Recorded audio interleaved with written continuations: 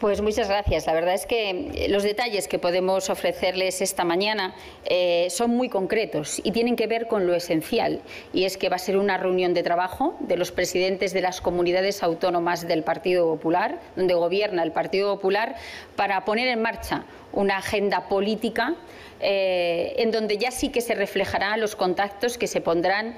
o que se tendrán con el resto de presidentes de otras comunidades autónomas no gobernadas por el Partido Popular.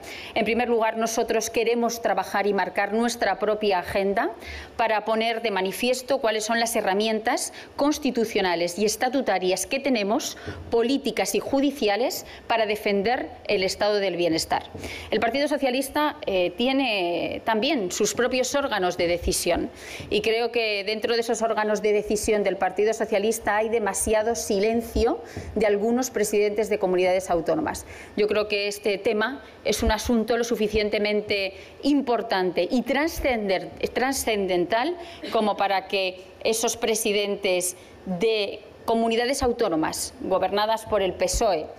o que están en la oposición eh, hablen, levanten la voz y expliquen dentro de los órganos del Partido Socialista cuál es su posicionamiento. Aquí no estamos hablando de siglas, aquí de lo que estamos hablando es de servicios públicos, aquí no estamos hablando de cupos, aquí de lo que estamos hablando es de garantizar en condiciones de igualdad la educación, la sanidad, la dependencia, los servicios sociales, el día a día de cualquier español viva donde viva. El Partido Popular se reafirma y va a utilizar todas las herramientas a su, eh, que están a su disposición, que están a nuestra disposición para defender ese estado del bienestar. Yo espero, espero que el Partido Socialista, que algunos líderes del Partido Socialista no se queden en declaraciones públicas, sino que den un paso al frente y defiendan también a sus conciudadanos, a sus vecinos y se pongan manos a la obra. Y que piensen que este desafío histórico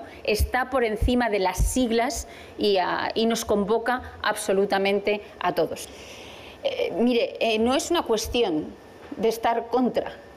es una cuestión de estar a favor de, es una cuestión de parar un pacto que viene a romper la solidaridad entre los territorios y que viene a romper la igualdad en el acceso a los servicios públicos entre todos los ciudadanos.